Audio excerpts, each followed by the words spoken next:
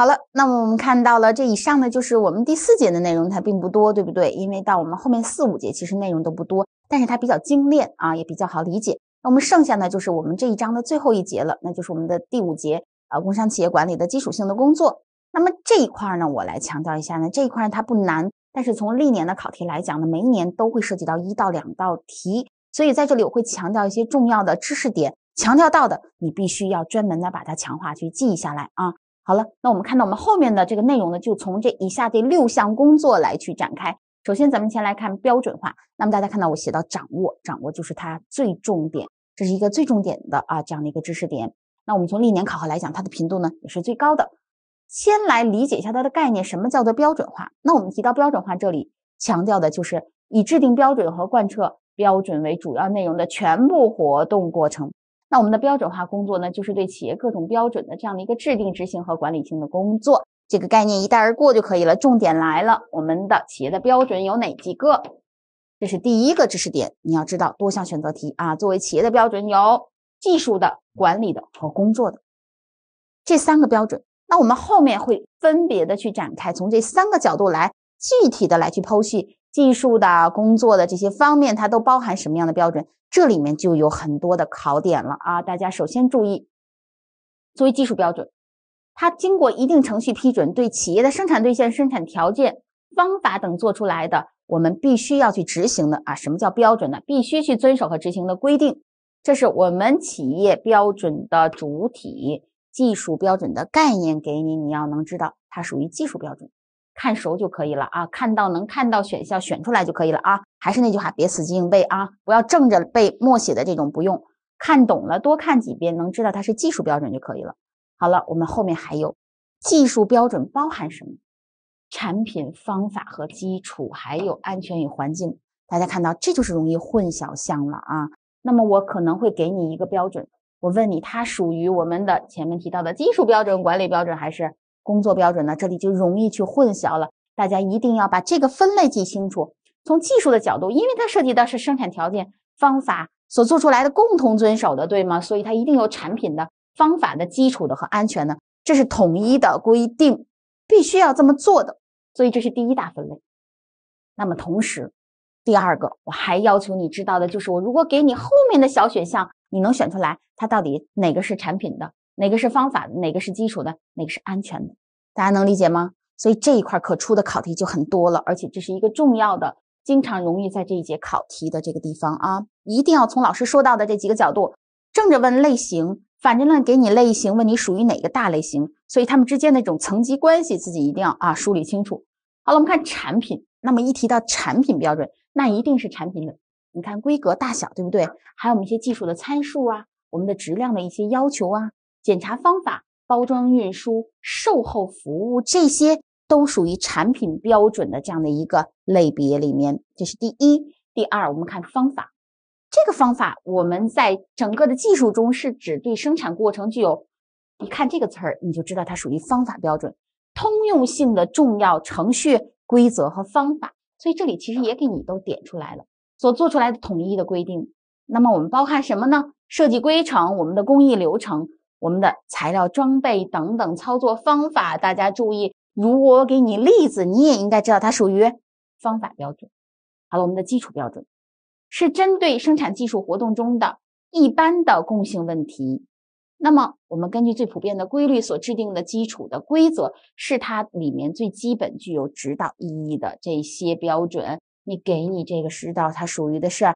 基础的标准，最后环境安全，这个是比较好记的了。三个里面最好记的了，是为了保证生产过程中的人身安全、生态环境，这给你你就知道属于我们的安全和环境。所以这个没考过，考更多的就是前面的，尤其我们这个分类之间的对应的关系。好了，那我们再来看管理的标准。管理的标准对于企业重复出现的这些管理业务和工作责任，按照有效的时间提高工作效率的要求，对于我们工作程序、工作方法。工作职责和制度所做出来的这样的一些统一的规定，所以它涉及的是管理这一块啊，管理涉及的就是效率的问题，哎，所以大家这个概念比较好对号入座。重要的考的是什么呢？这一块大家注意，我们的管理标准的三个分类，生产组织技术管理标准，还有经济管理标准，它都属于什么呢？管理标准。多项选择题也可以考，我反过来也可以考。给你这个问你，它以下属于什么标准？混在一起特别容易出错。这一块要求大家做的就是什么呢？重复性的看这块就是必须死记硬背的。老师很少会说死记硬背这一块，你只能理解的死记硬背，而经常在这一节中会涉及一道考题的啊。大家一定这一块不要混淆了。好了，那么工作的标准。对于企业员工的工作方法、程序啊这些，哎，所做出来的这些，老师不一一来阐述了。这块是比较好记忆的啊，工作标准。那么我提出来的要求呢，咱们通过做一些题呢，大家来看一下这块的概念它是怎么考核的。在企业管理所制定的标准中，生产组织的标准好了，那么这不就是我说的大的这个分类里面的小分类吗？那么生产组织的标准属于什么？哎，很明显就是我们的管理标准。这里面前面怎么强调了？这里面谁属于谁？经常考的层级，大家看这里就没有道理而言。这种题为什么我说得死记硬背呢？这个很难，你说我去理解的去记忆，或者是根据我过去的习得的经验去理解的去看，没有这块就属于你背了吗？就会没背就不会的这种死记硬背的点儿不多。我们书上这种死记硬背的点儿并不这么多啊。我告诉你要死记硬背的，你就必表必须把它背下来。我告诉你理解的记忆，你就按老师说的去做就可以了。这个就属于按表格分类怎么着，一字一差不差的，你必须要把它背下来的。好了，我们在企业所制定的，告诉你了，技术标准了，已经告诉你了。那么在生产过程中，对于具有好了，我说一题通用性的是什么？我前面已经提到了，一题通用性的就是我们的方法标准。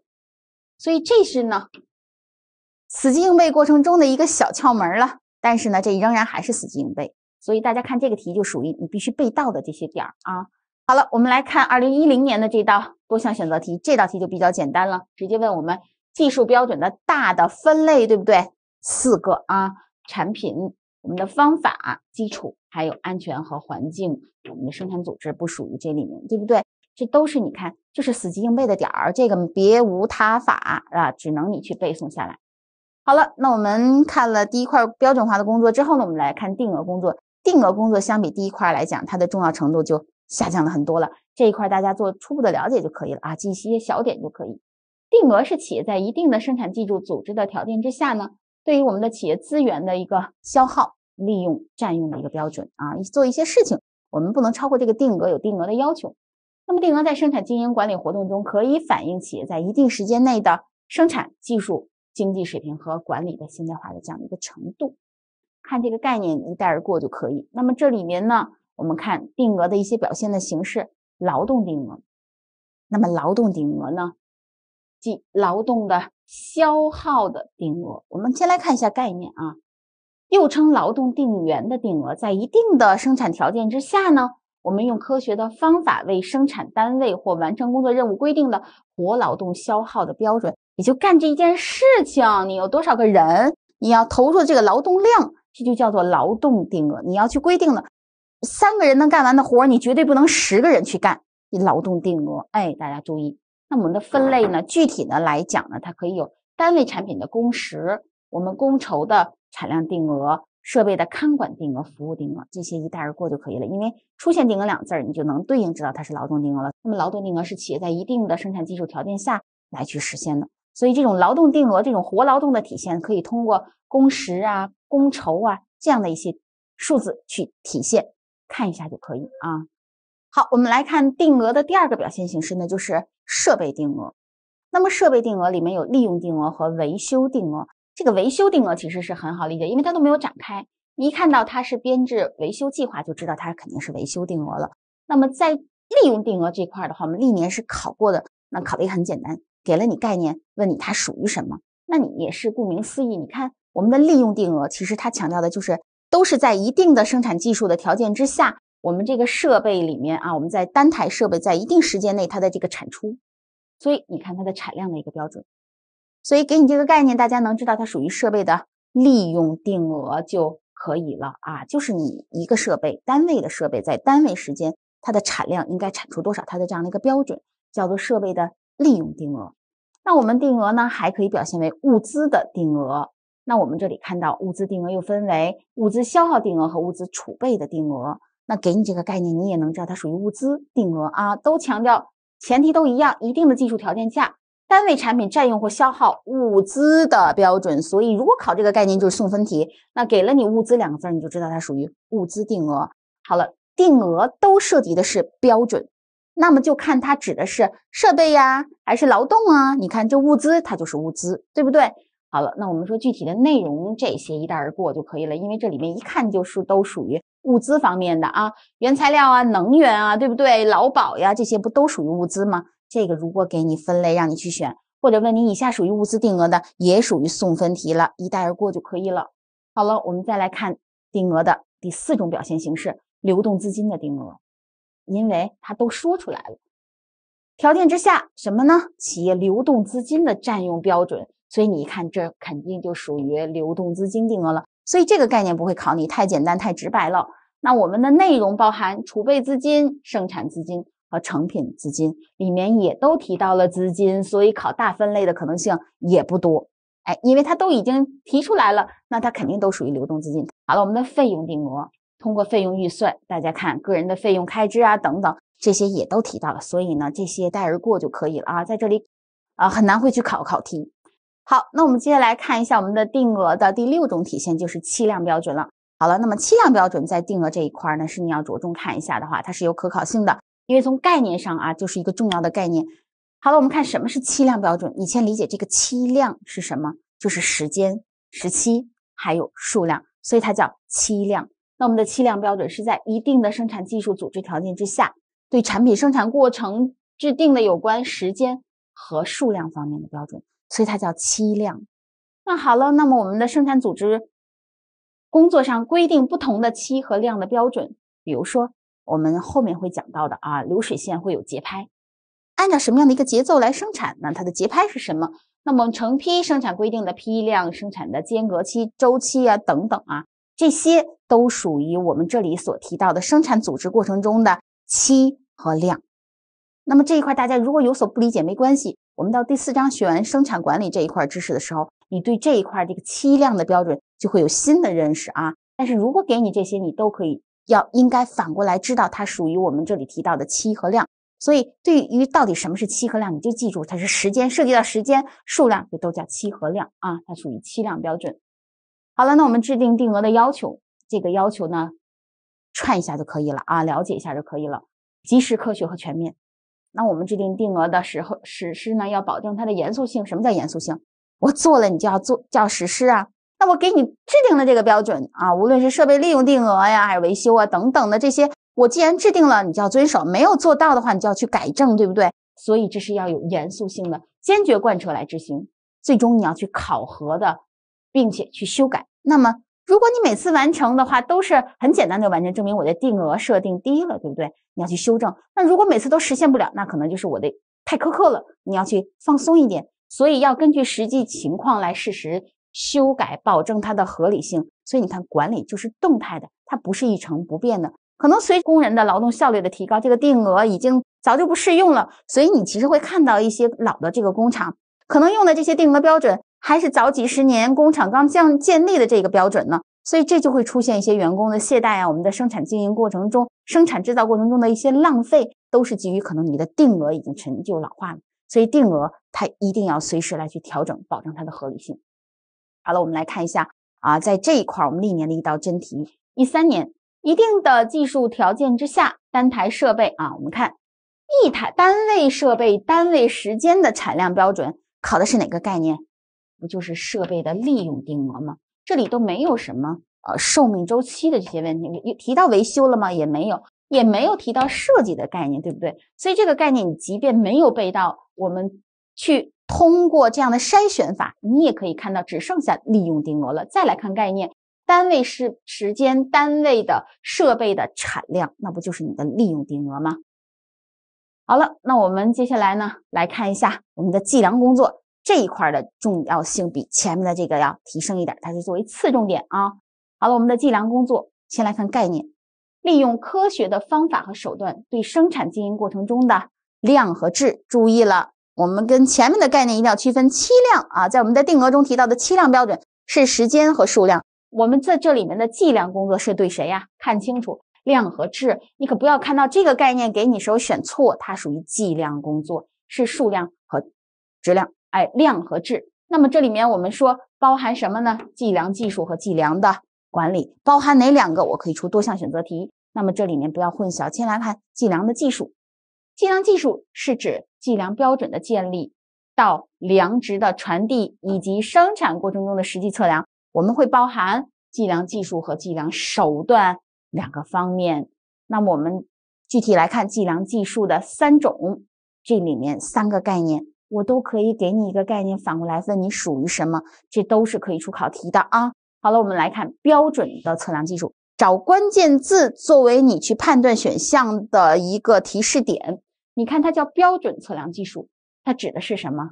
它是和你的基准器有关的，通过法制的手段来进行量值传递的这样的一个测量，就较高的一个测量的水平。大家注意，由专门的计量部门来去完成。所以，因为它是标准的，所以它一定是由专门的部门来去执行。所以这些关键字眼都是你来去筛选啊，它到底属于哪一个的一个提示啊？好了，我们看工业测量是什么呢？一到工业，它就会强调我们生产过程中的，哎，生产过程中的工艺的测量，目的是什么呢？我们监测和控制现场，所以这里都是和生产有关的。你看现场控制啊等等，这些属于工业的测量。那么到计量的测量技术呢？法制的标准，我们的量值传递系统中末端的测量，那么它属于标准过渡的中间测量，它是中间的部分过渡嘛？目的是扩大标准的上下量线，主要对生产量值的监督，所以一定要把这个计量测量和这个标准测量，哎，能够去分开啊，把它区分开，掌握关键字眼。好了，我们再来看一下我们的计量管理了。管理第一句话就是一个重要的考点，目的是什么？你看这两个词儿就知道这是一个重要的一个提点。单项选择题，我们计量管理的目的是保证量值的统一，包含哪三个方面呢？工业计量管理、商业计量管理和法制计量管理。同样，这三个概念也要能反过来看懂。工业的测量管理，我们的计量管理以产品为核心的单位计量的管理。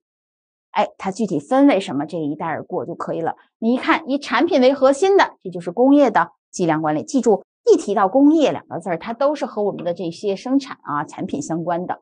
商业呢，以商品为核心。那我们再看法制，一提到法制，就是标准的测量器了。你看这些衡器呀、电度表啊，这些这些都是必须你要统一去管理的啊。我们的叫，所以它给了“法”这个字。这是法治的啊，这可不是你人为随便去确定的。所以，我们这计量管理这些概念，你看这三个啊，这三个是比较好反过来记的，记关键字眼能看懂就可以。好了，我们来看一道高频的考点，这就是刚才老师强调的，我们的计量管理的目的，经常考的，保证什么的统一啊？量值的统一。计量计量了怎么是规格、型号、标准？这一看就是错误选项啊。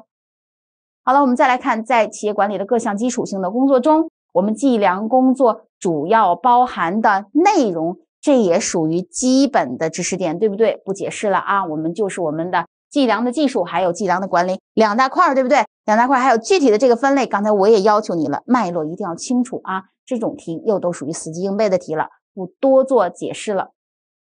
好了，那我们在计量管理中，你看关键字眼：尺衡器、电度表。我们说这是什么？法制的内容，对不对？法制计量管理。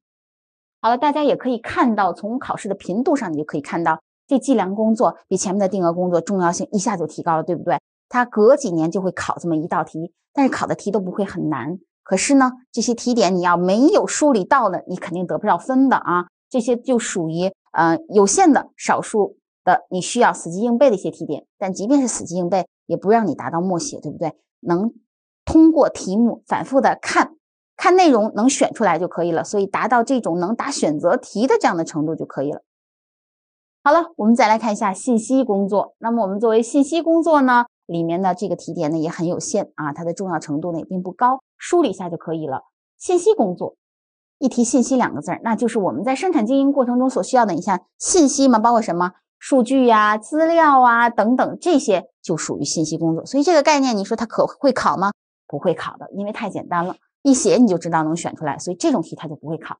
好了，那我们包含内部和外部的这个也不会考。内部就是你企业内部的，对不对？你的报表呀，你的账务呀，你的人力资源那些信息，这些都属于内部的信息的管理。那外部呢？你获取的这些市场的资源的这些信息、经济呀、信息呀、你的竞争对手的信息呀，等等等等，这些你看技术情报嘛，对不对？竞争对手的这些消息呀，它的技术的变化呀、动态呀，我们的技术环境中的一些动态呀，消费者的这样的一个需求的变化呀，这些都属于你企业外部的，所以它叫外部信息，这都不会考，上课听一遍就可以了。